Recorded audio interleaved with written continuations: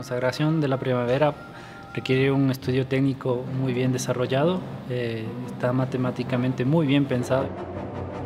Es un reto enorme, pero también es un agrado grandísimo el poder tocar una obra de este calibre.